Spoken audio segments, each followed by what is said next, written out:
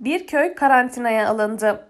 İstanbul'dan köyüne gelen ismi açıklanmayan kadınla onu ziyarete gelen annesinin Covid-19 testinin pozitif çıkması üzerine köy karantinaya alındı. İstanbul'dan memleketi komşu illerimizden olan Aksaray'ın Ortaköy ilçesi Kümbet köyüne gelen ismi açıklanmayan kadınla onu ziyarete gelen annesinin Covid-19 testinin pozitif çıkması üzerine köy karantinaya alındı.